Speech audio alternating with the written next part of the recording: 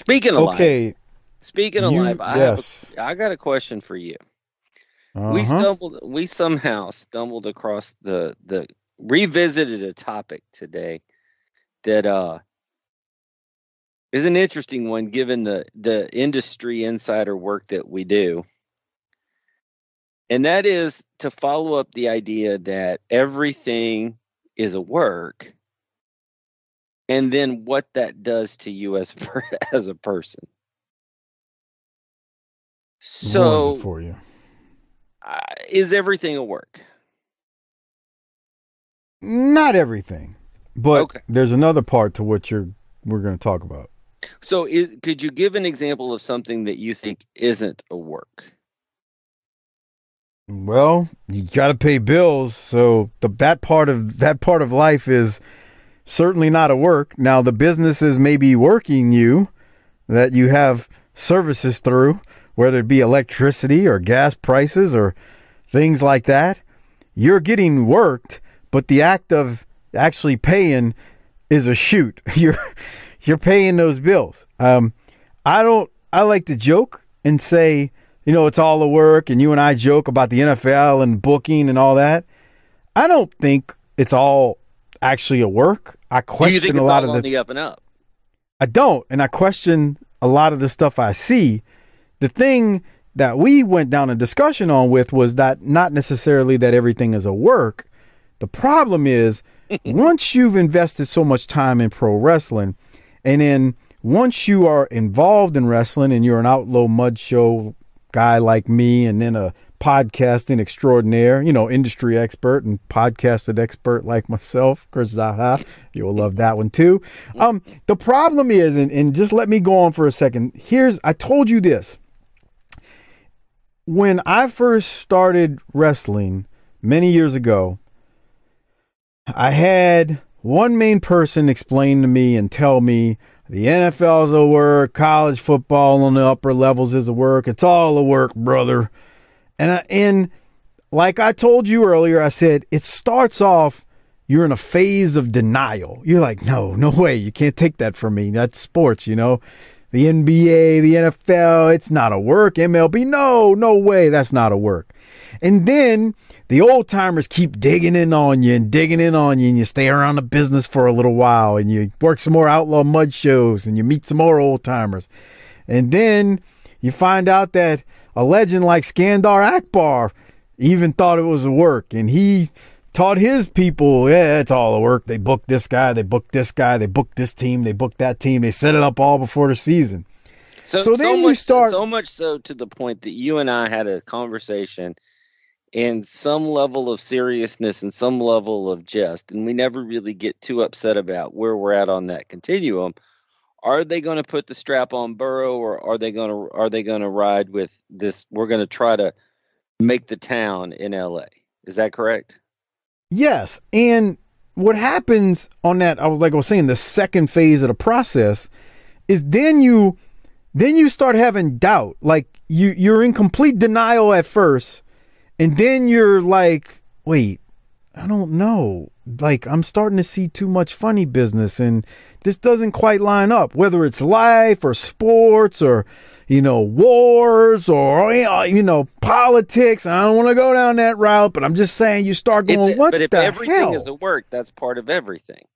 yeah. So then you start questioning things, And, And and, is the- we ca- and to be fair, that's some of the more important stuff in the world. So we're not going to Yeah. talk about it, but it's there.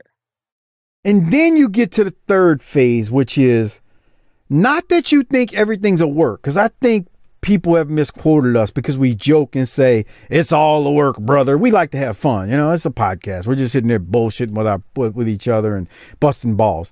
But then you get to the third phase of, man, I don't think everything's a work, but I question everything I see and read and watch. Like I don't believe anything. Now, it may be true, it may not be true, but I believe nothing. And you become what you and I call it's like we're corrupted.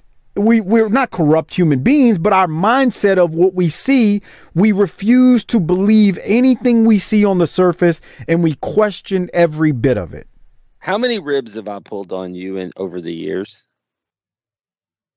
I mean, you've tried to pull a lot, and I just, just, I just don't. like no. And see, that's part of what I'm talking about. Is like you're like, I'll tell him something. He's like, you're ribbing me. No, I'm being serious. No, I don't believe you, bruh. I'm being serious. When's the last time I ribbed you? I don't know, but he gets ain't real. mad. He gets mad at me sometimes. Doc will get mad because he's like, dude, I'm not joking. I'm, I'm trying to be serious here. And I'm like, bruh, go talk to somebody else. Go do that with somebody else, somebody who ain't hip to the game. Ah, you ain't pulling one on me. Next. And I'm not, and I'm legit trying to convey a piece of information oh across that that's for real. But I- man, It's corrupt. I'm corrupted by it. It's like, it messes with my mind. Everything does. It's sad. It really is. But I can admit to it. Like, I, I have this self realization of this nonsense over the years has corrupted me. It's like corrupted my mind. I don't believe anything I see anymore. so is there a fourth stage to this?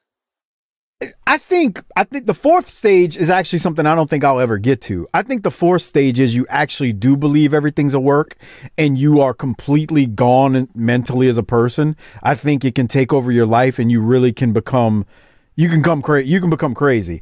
I think as long as you stop at just doubting things, you're okay.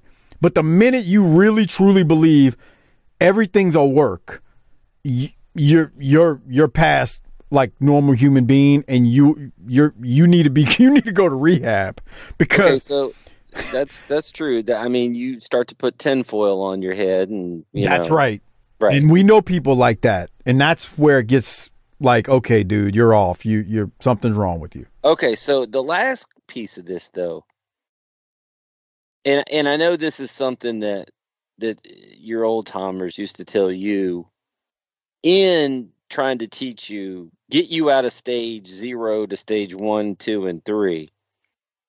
What part does money play in all of this? Oh, so that's the selling point of it all. It's like if money's involved, it's a work. That's what they always say. Or some phrase similar to that. Like if there's money involved, it's a work. The more So money that- involved, that's it, but the that's more of a work. important concept because I think we touch on this a lot in a joking fashion about football. It's not that Roger Goodell necessarily always wants the Patriots to win.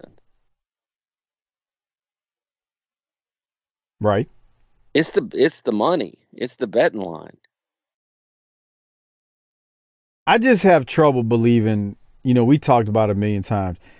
I don't think he booked the Patriots to beat the Falcons in that Super Bowl, but there was way too many shenanigans that led to 28 to 3 evaporating.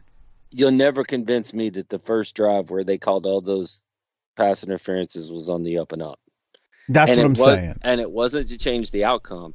It was to get it closer so people didn't tune out and they miss all that ad revenue. That that's yes. So like I so think money's involved, that. so it becomes a work, but not like most people think it's a work. Yeah. And again, some people look at me and go, "Oh, that's tinfoil hat." Like I We- got friends remember, who, remember when we told my boss that. oh man, he looked at us like, like he he kind of chuckled, like, "Are you two?" Id-? And we didn't we didn't we didn't we didn't tie it into wrestling, but I know, like, eh, it, it really would have messed me up. But the fact that you were agreeing with me, like, he couldn't really look at me like I was crazy, but he was looking at us like we were crazy. I'm kind of surprised we didn't get drug tested that day. He remember the face. He Booker man was like, he he. I wish you- I wish I had the camera on. We were ribbing him. He was like, "Are y'all Yeah, serious? well- come on!" And then he Yeah, he realized we weren't laughing. He was like, "Oh, come on! You guys don't believe that, do you?" Right, right.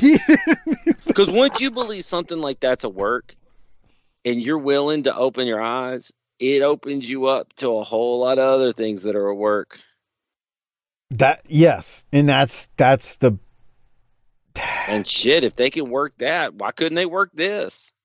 but but you and I know people who um one person in particular I'm thinking of who like I think he's gone. I think he's one of the people who are gone. Like just he's out there when it comes to everything's a work and I mean I'll tell you offline if you don't think if you don't know who I'm talking about, but he's gone. Um, not a bad person, but just gone because you can't convince him otherwise. Now, for me, I stop at the where I just doubt what I see. It's not that I don't believe it. I just que- I don't even say doubt. I question everything I see. It's not that I don't think what I'm seeing is real or listening to is real or watching is real. I just have a an instinct in me that goes, "Wait, hold on a second. And it's what a little nah. bit different than critical thinking because critical thinking is a good skill to have. You know, you shouldn't believe everything you hear or read, right? This is a step beyond that to look for the angle. I want to know that's how the right. magician's pulling off this trick. Yeah, that's that. That's it. That's it too. You question it and go, okay, what's this person's angle? And that, and, I and, hate to say and, it, it corrupts and, you. and you're dealing with an unsuspecting public that doesn't want to believe that the world is set up that way. It's it's it's it hurts people's feelings, man. I remember it does. I, it hurts your. I and, and like the way I tied this up was so I was telling Doc and I were reminiscing about the first time that I started t- talking to him about football potentially being a work. Again, I'm not saying it's a work, but potentially being a work. And I remember distinctly him sitting in my office looking at me like, Are you freaking stupid? Like he's giving me this look. And then, like, as the months and years go by, he starts like seeing things that make him question and go, Wait, hold on. Was that really on the up and up? And here's what it's like. It's like looking at a it's like some of those Rorschach Rorschach pictures. And if you just flip it 10 degrees, you go like, oh shit, I see it now. you couldn't see the butterfly when you had it this way, but when you tilt that just ever so slightly, it's like, oh shit, this thing is clear now. I'm telling you. And and the other part about it is, I am in I am in no way a conspiracy theorist. Like I don't believe it. I, I wish Bigfoot was real. That'd be awesome, man. I'd be like, dude, that's a fucking awesome. Bigfoot's real, but I don't believe it. The Earth's not flat. And why? Because we said this before. There ain't no money in the earth being flat. That's why it's, it's it's not a work. There ain't no money in it. If the earth was flat, we'd have charters out to the end of the earth where you could get on a boat and somebody could make some money off this shit. That's so true. I don't believe I don't believe that we're alone in the universe. But I don't believe that we're lizard people or whatever, or you know, or whatever. So it's not that you believe it's it's not that I believe anything's possible. It's what's the angle? Where's the money yeah. in this? Who who benefits? Who profits? That's it. Follow the money, man. Follow, Follow the, money. the, money. Does it have money in it? Yeah. Then it's a work. Brother, brother, if money involved, it's a work. you know how many times I heard that at 2 a.m., 3 a.m. on a highway coming back from a show? All the time. Brother, let me tell you how they booked this one. Okay.